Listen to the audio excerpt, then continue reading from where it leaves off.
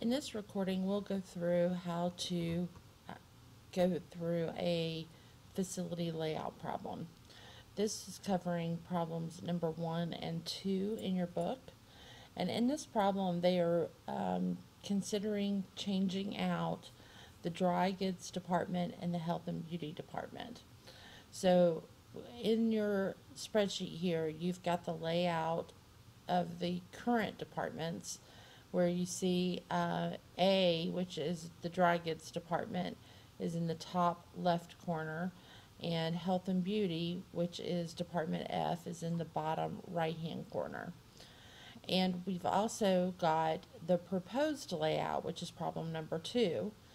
Uh, and you see that they have switched it out in problem number two, and the health and beauty department is now in the top left corner, and the dry goods department is in the bottom right corner. So what we want to do is compute the load distance score for both of these layouts to see which one of them is the most efficient layout. Okay, so we've got up here the trips between the departments. So basically what this is telling you is how many trips are made between each department on a daily basis. So what we need to decide is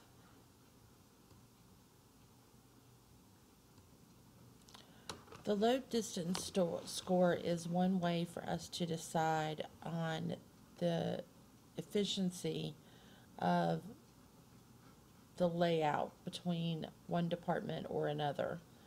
And we calculate that by deciding on the ratio of the number of trips between departments and the distance that you take between those departments.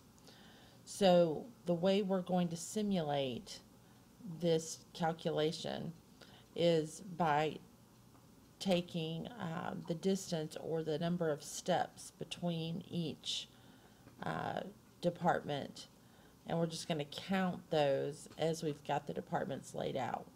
Now the way that you would do this in in reality is you would measure the distance between a department. So let's say you were in Walmart, uh, you would actually take a tape measure and measure the distance between, say, the dry goods department and the pharmacy.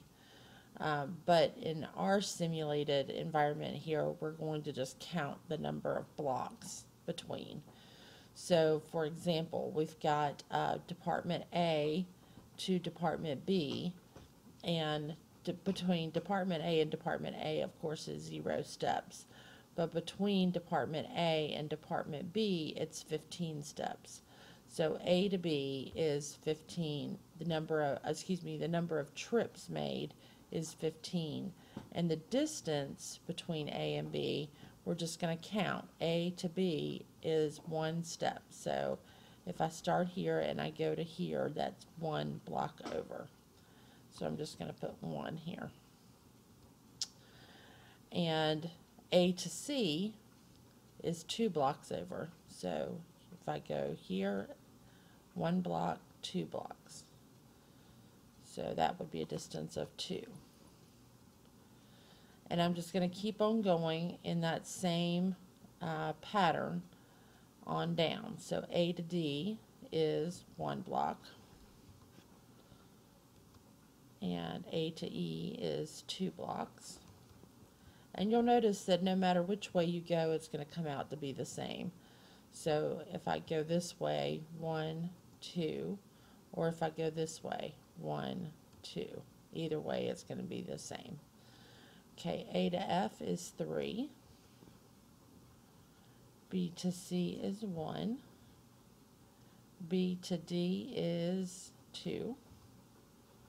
B to E is 1. B to F is 2.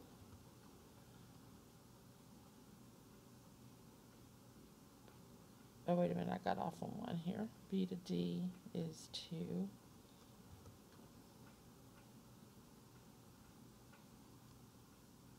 B to E is 1. B to F is two. C to D is three. C to E is two. C to F is one. D to E is one. D to F is two. E to F is one. Once you get all of those in there, the next step is to compute the load distance ratio. So we're going to do an equals here, multiply our number of trips times the distance between the departments. And that's going to give you an LD score. And we want to then copy that down to all of our other cells. So we're going to get back on this cell get our fill handle down here in the corner and pull down. Okay, it's important that you get all of the formulas in the cells here because I will be grading you on that. Sum up your total using your auto sum here. And that is your total load distance score. This is the number that's going to be important down here at the bottom. Okay, and now we're ready to look at our proposed layout to see if our load distance score is any better. So we're going to count the same thing here except with our proposed layout. So A to B is starting with our A here, 1, 2, two blocks over. A to C is one block. A to D is two blocks. A, A to E is now one block. A to F is three blocks still. B to C is one block. B to D is two blocks. B to E is one block.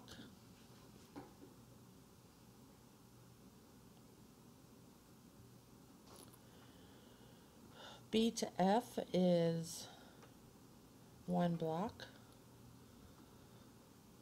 C to D is three blocks. Oops, three. C to E is two blocks. C to F is two blocks. D to E is one block. D to F is one block. E to F is two blocks. We're going to calculate our total, again the same way, equals our 15 trips times our load, our distance, gives us our load distance score. Going to get on our fill handle again and drag down and calculate our sum. And as we can see here, our proposed layout was slightly better than our current layout. Now, what I want you to do for extra credit is come up with an ideal layout. So what you want to do in order to create your ideal layout, and I'm going to give you five points extra credit here. So I'm going to put my five points up here.